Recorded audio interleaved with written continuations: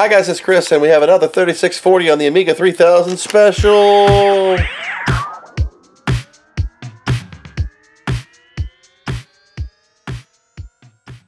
Alright, without that goofy daggone intro, Gangsta's got it going on again. What's up with that?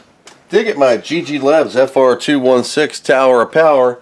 That's not all of it, it's actually just this stuff, but that don't work either. That's another day. But for real, I did get a 3640. Let me put on the old ankle bracelet here. Told y'all before, don't like having it on my body, so I wrap it around my foot like a prison bracelet. If that's what prison bracelets are, I don't know, it just sounded good. That way I am electrostatically discharged, or whatever that stuff is. Anyway, check this out. So we have a Rev 3.1 3640. Sorry if I goosed you on eBay for this. I just had to have it. I think it's been recapped, but they put the caps on right, which is wrong. Right? So anyway, all the silk screening on the 3.1 boards were backwards. So positive was negative and negative was positive. So they put the caps on positive, negative, and they were reversed. But this one's got caps that are crooked as a politician. They're a little twisted like uh, Adrian does. And maybe he had this before me. Don't know. I'm going to put this in the Amiga 3000. Yes, I know I just got it back together. So that's what we're going to do. Let me get the Linux keyboard out of the way. For some reason, my hot glue gun wanted to make an appearance. So hi, hot glue gun. How are you doing? Fine. Uh, As you can see, got the 3000. Should I be using the fancy new overhead cameras I have? Not really. It doesn't really like fly very well in this instance. Okay, here we go again. So, you know the drill. Covers off.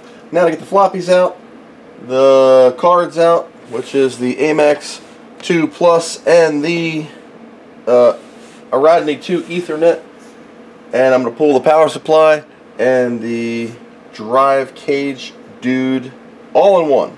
Okay, so it's tore apart. Got the riser board in just enough so I can get to the CPU slot right here. I gotta set jumpers, don't I? Forgot about that. Uh, what are we doing? External, external, right? CPU clock external. And, oops, can't see that one. And the other one, which is, I can't see it. What does it say? Board clock, internal or external? External. And then I think it's 25, doesn't matter. Kosher dill pickles for fingers. Alright, external, external, 25. Get this up here like that and set it sideways. That's good. Was there another jumper? There's three. I forget. Turn it on and see what happens, right? Power light. Won't have a SCSI because there's no SCSI. Because I didn't plug it in. And nothing.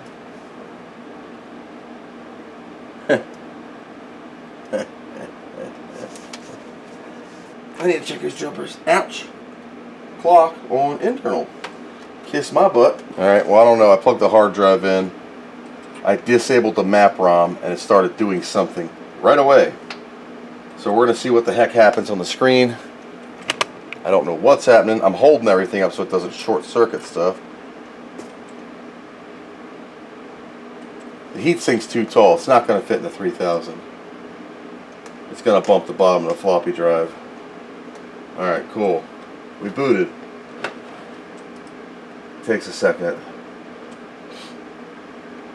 Um. Oh my god.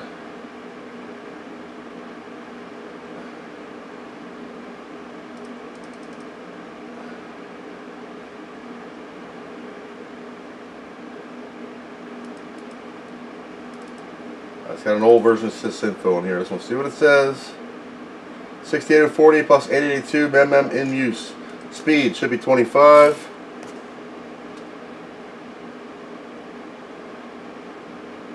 Oh my god. 0.004. What the hell is that? RAM is full. Why the hell is RAM full? I have no fast RAM. What the heck happened? Uh, that's kind of odd. Accelerator works, but no memory. Interesting. That explains why it's so damn slow. I have 21 bytes of RAM free.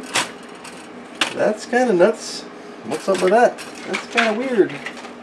Card works. Okay, so I'm going to put the map ROM back on. I don't know why that would cause it to do that and not have any RAM. Bring it back on again.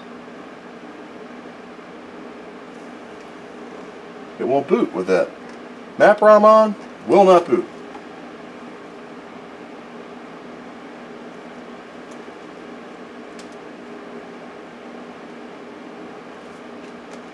Alright.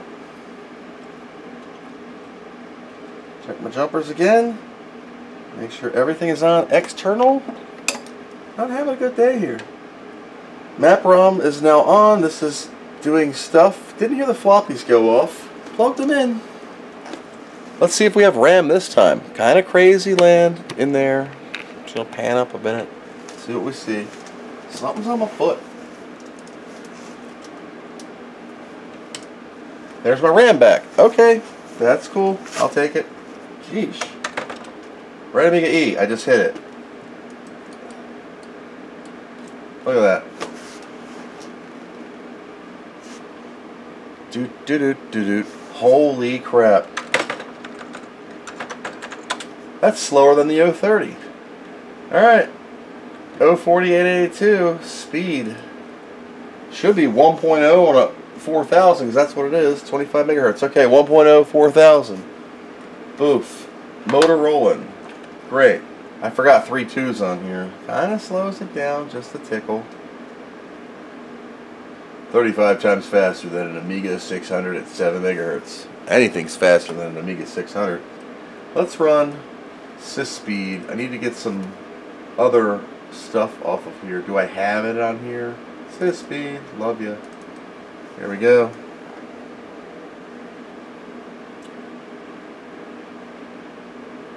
What? Oh God. What is up with it? Is my keyboard like not working?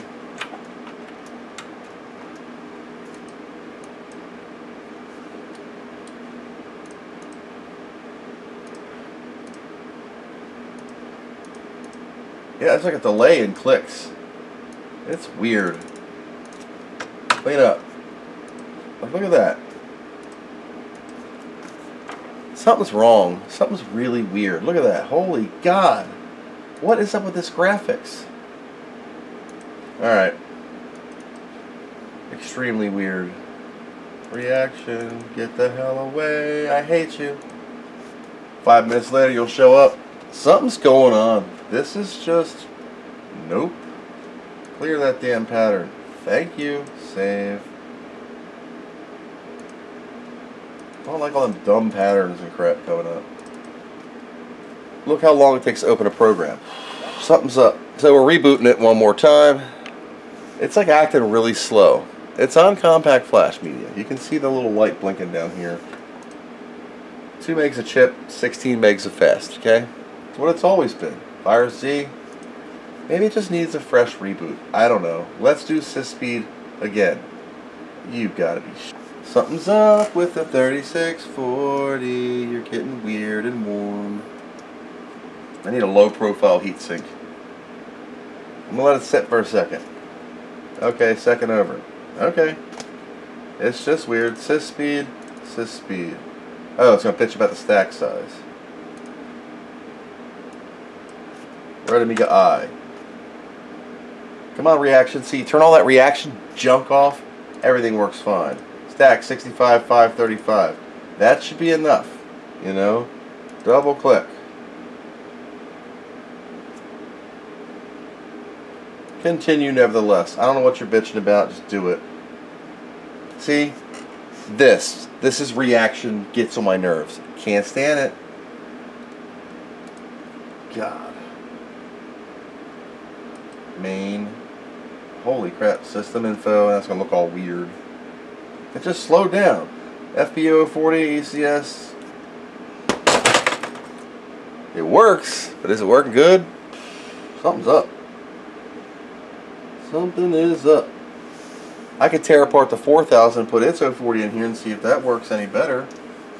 But I don't want to curse it. 2 megs a chip, 16 megs a fast, just like always.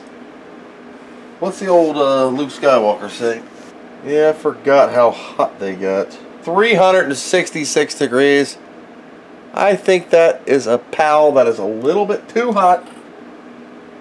Jeez, oh flip, burnt my skin. That is a little too hot. So we'll let it roll. I got a fan going on it. That's crazy hot. Crazy hot. Why? It's working. Running better. Okay. Here, how about that? Figure that one out. I hate this look. Amiga 3000, 25, 25, 040. Uh, it has iCache, burst cache, dynamic cache, burst, and copy back. Get out of there. 2 megs a chip, 16 mega fast. I'm an NTSC high res lace, 715,909 vertical, 60,000 or 60 hertz horizontal refresh rate or power, 15 kilohertz. And it crashed, but I'm going to leave it because it's running. So, board's nothing because there's nothing in there. I need to run like a Amiga test kit or something because it's just nuts. Which Amiga? How about that? Uh, 16040, 24.8, 040, 040 MMU running. Denise, Fat Agnus. Even though it says 8372A, it's a B. Uh, yep. ECS Paula, uh, or Denise, I mean, ECS Denise. Paula Ramsey, Rev 13. Gary, Rev 0. I don't have a Ramsey Rev 13. Anyway, 2 megs chip, clock found, ECS, blah, blah, blah, blah, blah, 3000. Workbench unknown, Kickstart unknown. Need a new Which Amiga there, uh, Harry Sinteman, Sinteman, whatever. Amiga test kit, let's run it. Yep, didn't boot from it, just did it. There's a Snoop Double Do Double G. Test the RAM. Just see what's going on here. We have a 300 degree PAL that is now cool. What's this thing say? So this froze on the first little bit. Didn't get any testing done because it totally froze. Yep. But the card works. Am I going to put it in here? I don't know. I want to, but it's kind of weird. I mean, this, it's a little bit special, okay? Fold out. Just, it won't fit. I mean, it's hotter than Hades, but we're to have to do a Mr. T on this guy. Bling him out like a 90s rap star. Check the caps. They look like they've been put on, but they're put on backwards. It's functional. It works. When I mean put on backwards, I mean put on correctly on the silk screen which is actually backwards because Commodore flip-flopped the silk screens because they had the best quality control ever. Anyway, this heat sink's a little bit too tall. It, it can't be this high because it just hits the bottom of the floppy tray down here. Let's clear that. So, yeah. I'm going to put this back to its stock form. I'll have to find myself another heatsink for this. I believe I have another one off an old Mac 030 or something off my Quadra. I could scalp or swap and that's a low profile guy like I have on the 4000 and then I'm to bling it out with some heat sinks from Raspberry Pis because I have a whole bag full of them and then we'll at least get the gals all covered up here.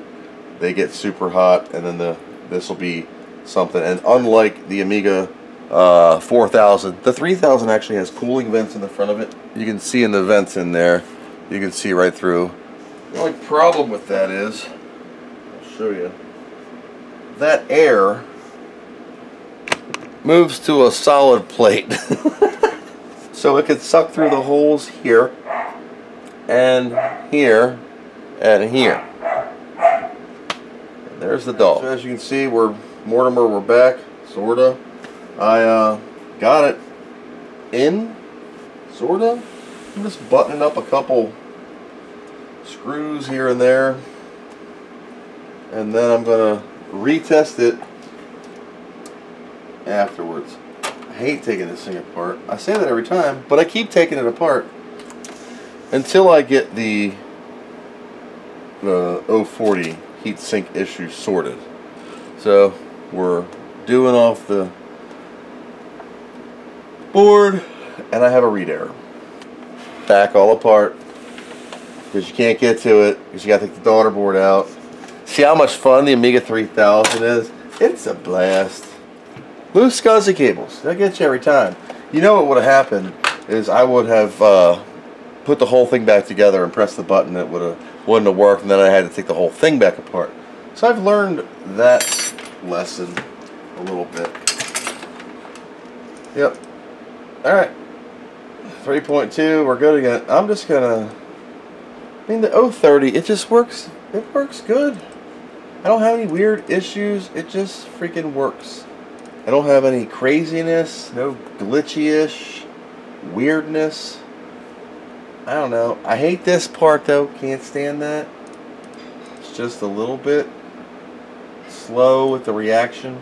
Don't like reaction. Wish I could take it out of there. 25 and 9. Interesting. That's funny.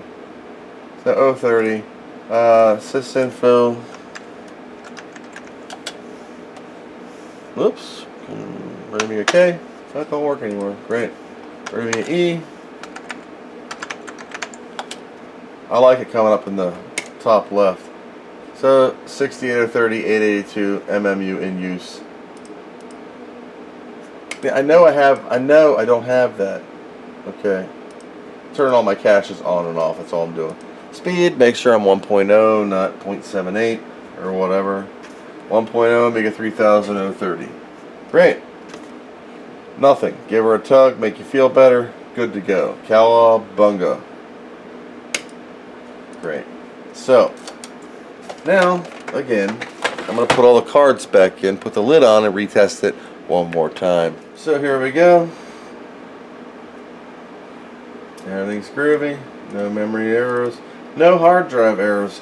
I could run uh, tools and just give her a check this kind of thing. But that's okay. I'm going to go ahead and put the lid back on, screws back in, and back over in its house. If you have any idea why this is weird, I should recap it. I'm probably gonna. Even though it looks like it's capped, but they're capped wrong. Get rid of this heatsink. It's a little too tall, and somebody been in here, you're selling this as, oh, this is old and untested. Yet, this is still wet. You know, heatsink paste doesn't stay wet. It dries out and gets crusty.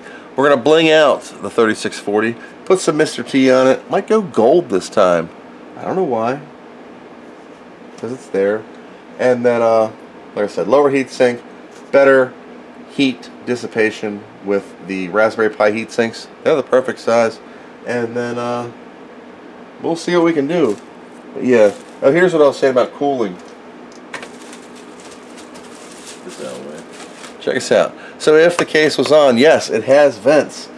But it's going to suck all the dirt in through the floppy drives because there is uh, no holes in the front. Where the CPU is, there's like holes on the side right here. Like all this is open underneath. I guess whole thing's open. That's great. But it the case closes here. There's no There's no place to get the air around because the case has the perfect notch. You can't have.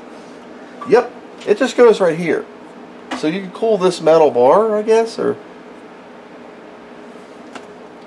yeah, you'll go up here.